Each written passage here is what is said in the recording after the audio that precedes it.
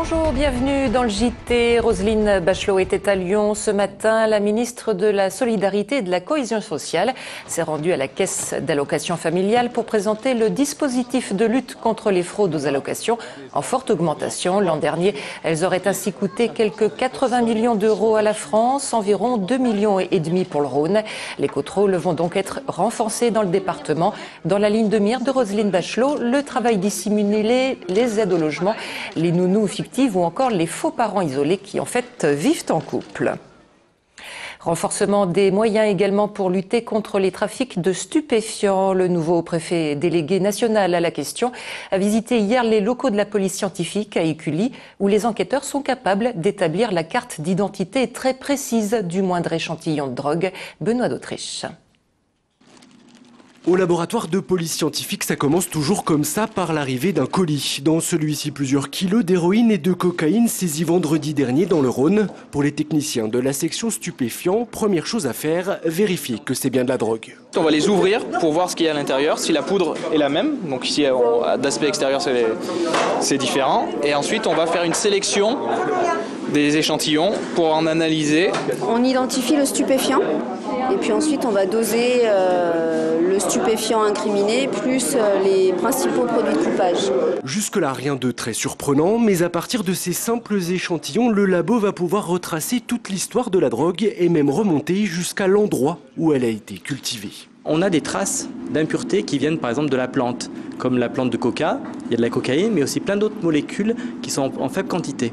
Et ces traces-là, ça fait comme une sorte d'empreinte comme une empreinte digitale de la fabrication de l'échantillon. Des empreintes utilisées ensuite par les enquêteurs pour reconstituer et démanteler des réseaux de trafiquants. Aujourd'hui, le laboratoire d'Écully a par exemple établi plus de 6500 profils de cocaïne différents. Et comme c'est un des rares à le faire, sa base de données est utilisée par les services de police du monde entier. Le drame a été évité de peu hier à Sainte-Foy-les-Lyon. Dans l'après-midi, une partie de la colline qui surplombe la rue des Aqueducs de Bonan s'est effondrée et un bloc de pierre de près de 3 tonnes s'est abattu sur le toit d'une maison située en contrebas.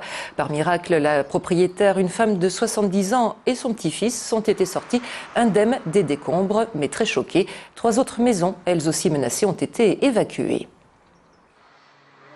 C'est quand même un bloc qui fait un peu plus de 3 tonnes, qui est tombé. Euh, je ne sais pas comment miraculeusement elle s'en est sortie parce que c'est vraiment tombé à l'endroit où elle était. Donc elle était dans, la salle de bain et ça l'a complètement enfermée. Je pense qu'ils ont dû la sortir par le haut. Et le jeudi, elle garde mon petit garçon.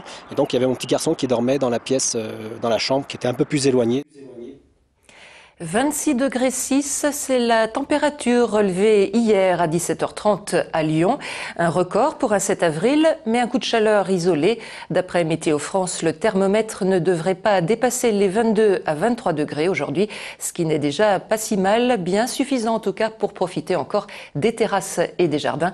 Et ce temps presque estival devrait durer encore quelques jours.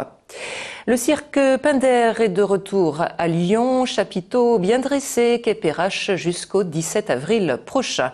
Petit nouveau dans la troupe de la famille Edelstein, Christophe Trot revêt chaque jour l'habit de Monsieur Loyal, un costume presque sur mesure. Leïla Kessi. je vais vous montrer un petit peu comment on se prépare avant une séance. On vient de monter. C'est bien connu, pas de cirque sans fauve, sans enfants et surtout sans Monsieur Loyal. Et chez Pinder, Monsieur Loyal, c'est lui, Christophe Trot, nouvellement arrivé dans la troupe. Depuis quelques semaines, il est chargé d'assurer le bon déroulement du spectacle, non sans une once d'appréhension. Beaucoup de choses sont réglées depuis très longtemps, mais euh, le facteur... Euh, intangibles, le facteur impondérable sont absolument partie intégrante du spectacle. Le spectacle est surtout la vie de nomade. Voilà donc à quoi ressemble désormais le quotidien de ce Parisien et ancien journaliste.